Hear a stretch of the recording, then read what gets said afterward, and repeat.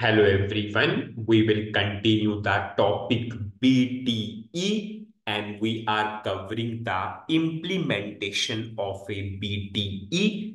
We finished with first step, we identified the BTE, we copied the interface function module and we created our own function module. We activated the function module. Now we need to write the code based upon our requirement. Now, what is our requirement? If the company code is DE11, the field text will be non-editable, else it will be editable. Now, best way, always see in the debugging mode. So in one session, I will open in debugging mode and in another session, we will write the code for the same because it is debugging is a technique which always helps us to increase our coding skills. So I will go for now. This is the particular BTE which we identified. I will put a breakpoint. And this I will run FB02 and I will show you. And in this function module, we will write the code. So now I will go to FB02.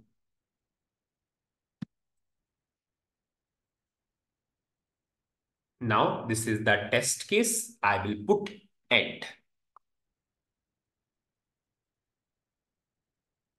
Up to this level, I will not do anything. I will simply do F8 because whenever we will double click on the line item, I'm double clicking on the line item or if we will go for details, I'm double clicking.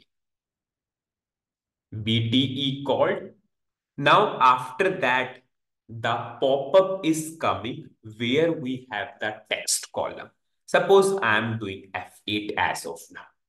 Now, this is the text column, text input field, which we need to make editable or non-editable. But is one thing, you can simply check the technical information. If you will see the technical information, how you will see the technical information? F1. You all know F1 is technical information. What is the column name? Simply, simply go for this technical information.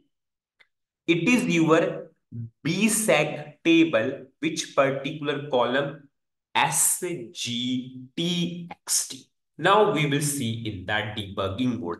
It is saying, what is your screen field? BSEG SGTXT. This is our screen field. This is our screen field which we want to make editable or non-editable. This is the field. Now I will again go to debugging and we will write the logic. Technical information is very, very important many times. So with the help of technical information, we came to conclusion very quickly that the screen field name is BSEG I will do F8 as of now now I'm double clicking and we will write the code. Now what the code we need to write if the company code is DE11, we need to make BSEG hyphen SGTXT as editable, sorry, non-editable. In other scenarios, it should be editable. Now we need to see where we are getting the company code DE11. I will double click onto this parameter, onto this parameter, onto this parameter. These three are input parameters importing. I will double click here. Have you seen in this I underscore BKPF, Bukras, B-U-K-R-S, you are getting the value DE11. So now I will write the code here if i underscore bkpf hyphen bukrs What is the company code? DE11.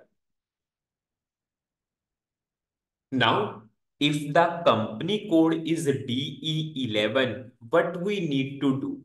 We need to make that screen field non-editable, non-editable. And have you seen SAP already provide a parameter T underscore no input? No input means what? You cannot give the input there. It means that is non-editable. It is a table. If I will double click here, you can see this is a structure and which has the column F name. Now, how, how I can pass the value to this particular table's parameter?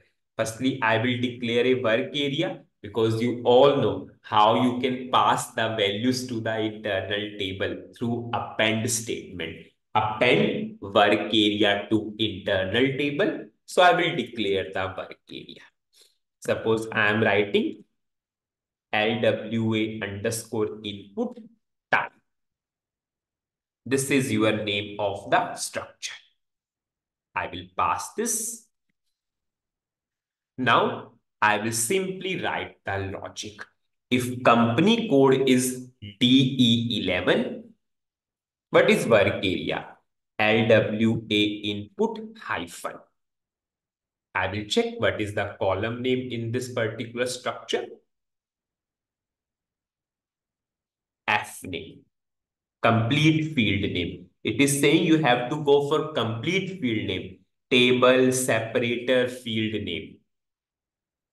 So I will give the full. Anyways, I showed you through F1 help also. F name is equal to, it is saying you have to go for full. It means what is table name? BSEG. What is the field hyphen? What is the field name? SGTXT and I showed you through screen F1 info help also. This was our screen field. Now I will write append work area to internal table. What is internal table? T underscore no input. If you want to completely make it invisible, you can pass through this also. After every append, we should clear the work area.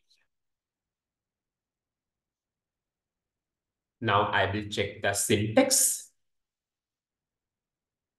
And now I will activate.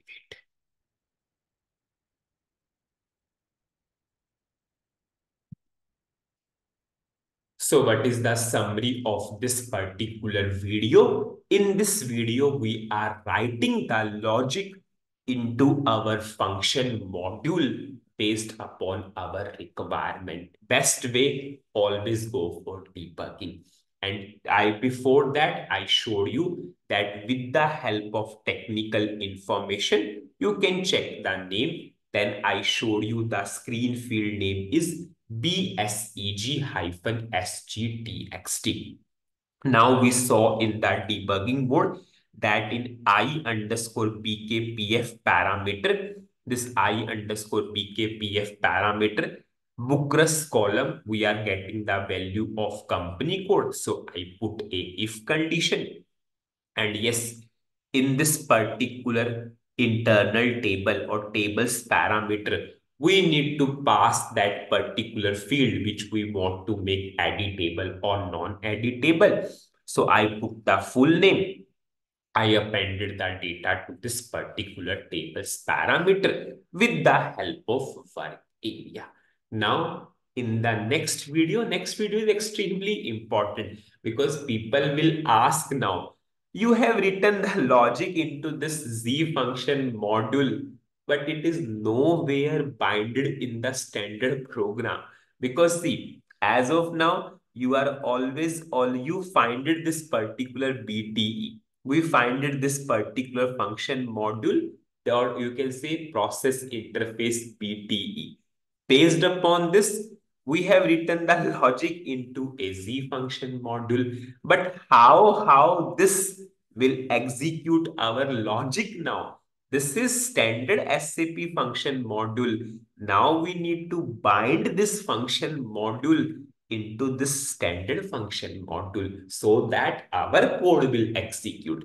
This is the next important part because up to this level, maximum people think you created a function module, but where it will trigger from where? It has not binded with the standard process at all. So in the next videos, we will go for most, most important steps because we will bind now this function module into the standard process, standard program of SAP itself. So that's it in this video. Thank you.